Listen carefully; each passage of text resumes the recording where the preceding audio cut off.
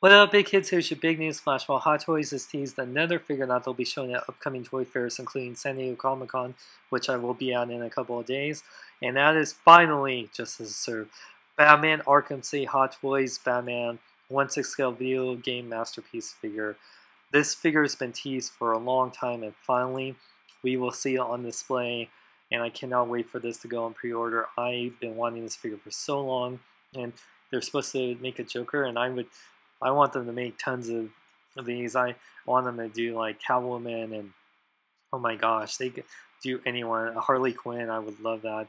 Oh my god, I would freaking love that. But yeah, I, I can't wait to see what he comes with. Hopefully it's batarang, a grapple gun, maybe some other things.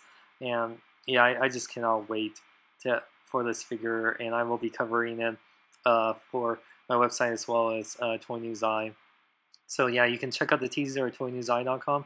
Uh, what do you think of the Hot Toys Batman Arkham City Batman finally coming out? Are you excited for it? I know I am.